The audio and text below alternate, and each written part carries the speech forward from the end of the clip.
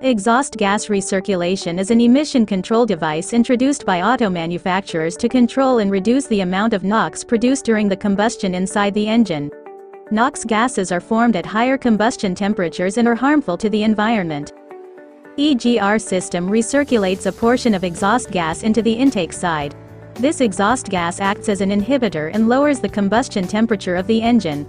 Lower combustion temperature reduces the formation of nitrogen oxide gases. EGR system contains a valve that opens and closes as the engine computer demands. Normally at light loads or cruising, the valve opens so the exhaust gas goes into the intake. And at higher loads and peak acceleration, the valve is kept closed so the engine gets maximum efficiency and output. Over time the carbon dust from exhaust can clog the valve or the valve can get stuck. This can cause many performance-related issues to the engine.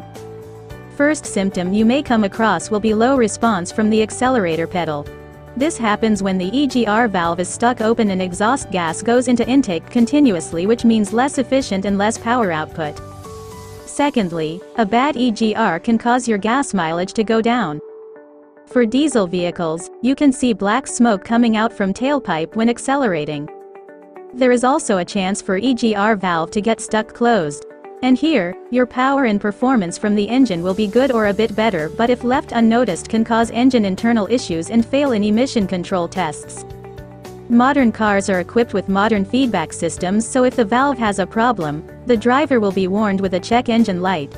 And when you scan the car, you might get DTC P0400, P0401, P0402, P0403, etc. Normally, a cleanup can cure the problem but if there is a problem with valve parts or actuator, you may need a replacement.